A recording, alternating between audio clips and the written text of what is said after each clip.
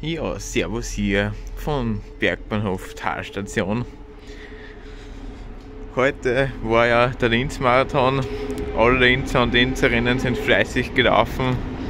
Ja, und es gibt natürlich wieder zahlreiche Absperrungen. Autobahn kannst nicht benutzen, viele Straßen, auch in Linz Schienenersatzverkehr gibt es teilweise.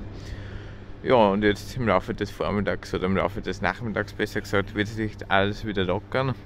Ja, und die Pöstenbergbahn, die fährt nur jetzt dabei im Bereich Pöstenberg Bergbahnhof Talstation, also das ist diese da herunten, wird normalerweise nicht mehr befahren.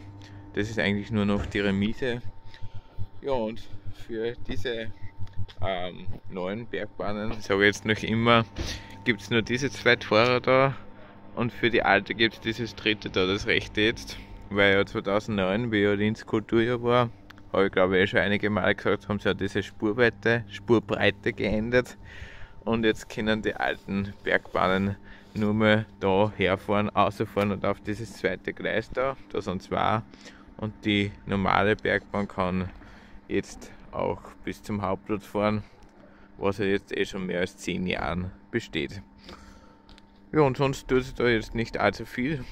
Heute fahren sie im Viertelstundentakt am Sonntag.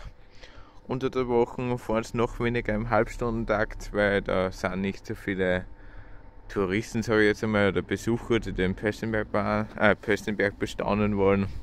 Ja, am Wochenende fahren die eh eher vermehrt. Gut, dann würde ich sagen, das war es jetzt schon wieder hier.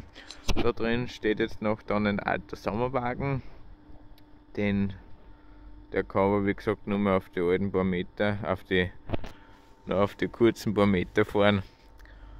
Ja, und sonst tut sich da eh nicht allzu viel. Gut, dann sage ich jetzt schon wieder Servus. Das war's hier vom Bergbahnhof Talstation. Da drüben sieht man auch den Mühlkreisbahnhof, einen Zug der ÖBB. Ja, und das war's schon wieder da. Servus und bis zum nächsten Mal.